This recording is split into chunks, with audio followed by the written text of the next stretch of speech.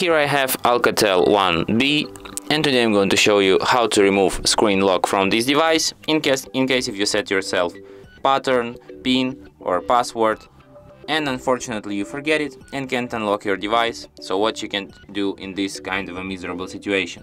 Firstly you will have to turn off your device and after it turns off completely next what you will have to do is to hold down combination of keys power key and volume up at the same time for a couple of seconds like this. After the screen turns on and you can see the Alcatel logo appeared, you can release power key and keep holding only volume up.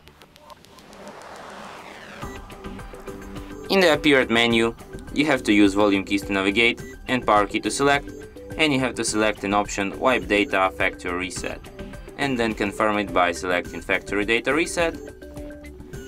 After you see the message data wipe complete, Select the first option reboot system now and after that your device will be restarted in a few minutes.